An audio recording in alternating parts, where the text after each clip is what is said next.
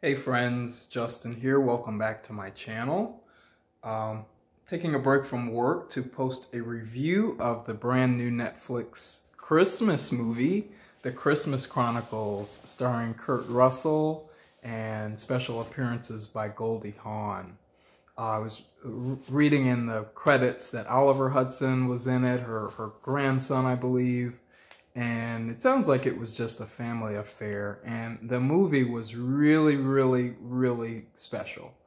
Um for me i think it was just not just not as good as the santa claus back in the day with tim allen but on par with those kinds of fun zany uh christmas spirit movies.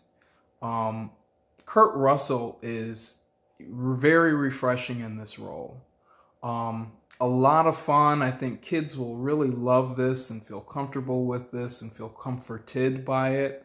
Um, but it was just a really fun, whimsical adventure. Um, my only downside, and I think, you know, a lot of folks that talk about this movie will have the same kind of visceral reaction. Where was Goldie Hawn?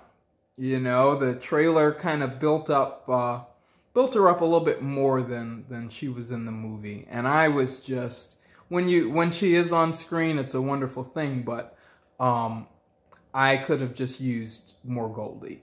You know she she's really the reason that i i clicked on the the title in the first place. But kurt russell more than carries the film the kids are special. You know i found myself tearing up at the end when um I won't I won't give any spoilers here, but I found myself tearing up at the end.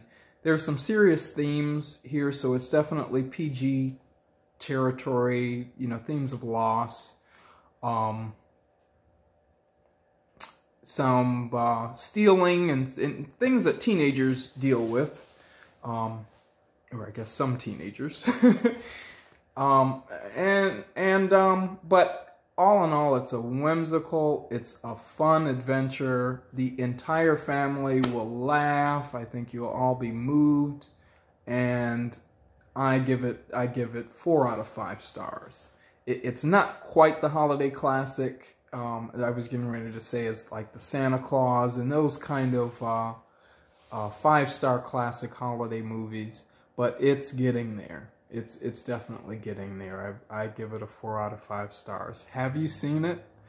Um, it was a ball of fun. If you haven't seen it, do you plan on watching it before the holidays? Um, this is one if you have a you know large family or a group in the house. This is one to watch together. I am curious to see what your thoughts were. Did you have as much fun as I did?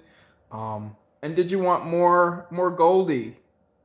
Anyway, guys, anyways, guys, I'll catch you guys in the next video. This has been my quick review on my lunch break of the new Netflix film, The Christmas Chronicles. Cheers.